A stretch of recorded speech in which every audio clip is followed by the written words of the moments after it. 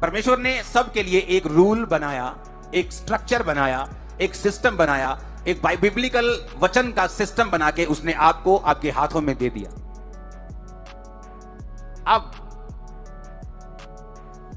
अगर आप, मैं बहुत कम टीवी पे हूँ इंटरनेट पे हूँ, बहुत कम जस्ट मैं अपना काम करने के लिए जाता हूँ, प्रभु का वापस आ जाता हूँ। वहाँ ठहरता नहीं। एक छोटी सी इंटरव्यू मैंने सुनी, अचानक से मेरे सामने आई। कोहली बात कर रहा था धोनी के बारे में। बोला था, धोनी कभी भी मेरा फ़ोन नहीं उठाता। सौ बार करता हूँ तो एक बार उठाता है। रवि शास्त्री कहता है कि धोनी के पास फ़ोन नहीं है कभी फ़ोन नहीं उठाता। बहुत मुश्किल से मिलता है।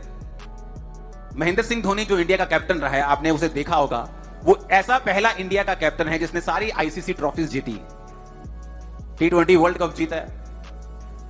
फिफ्टी वाला वर्ल्ड कप जीता है। एशिया वाली जो ट्रॉफी होती, वो जीती है। इतना बड़ा कैप्टन इंडिया ने कभी नहीं देखा। लेकिन कहता उसको पकड़ना बड़ा मुश्किल है। हाथ में नहीं आता वो। मैं आपको निशानी देता हूँ। अगर आप किसी जीवित चर्च का हिस्सा हैं, और अगर आप किसी जीवित मैन ऑफ़ गॉड के पीछे हैं, वो आपके हाथ में आसानी से नहीं आए। ये निशानी होती हमेशा। क्योंकि उनको चलाने वाला परमेश्वर है। अब एक क्रिकेटर ऐसा भी है, जिसको कोहली अगर सौ बार फ़ोन करे तो वो सौ बार उसका फ़ोन उठाएगा। लेकिन कोहली को उससे मिलेगा कुछ नहीं। कोहली को जिससे गाइडेंस मिलेगी, उसे वो नंबर चाहिए, उसे वो बंदा चाहिए, जो उसके लेवल से ऊपर हो, जो उसको गाइड कर सके, जो उसको बता सके।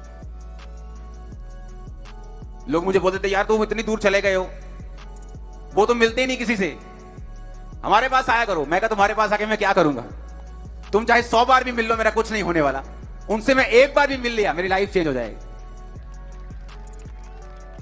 तुम 200 बार ही मुझे फ़ोन करो, मुझे कोई फ़र्क नहीं। मैं ही तुमको सिखाऊँगा, तुम मुझे क्या सिखा पाओ।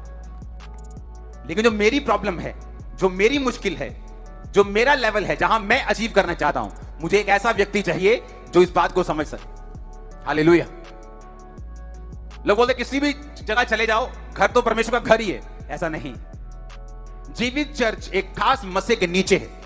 और वहाँ पर खुदाबंद का रूह जब आपको छूता है, आप अलग लोगों से अलग हो जाते हैं। टेस्टमनीज अलग होती हैं। ग्रेस अलग होती स्पीड अलग होती।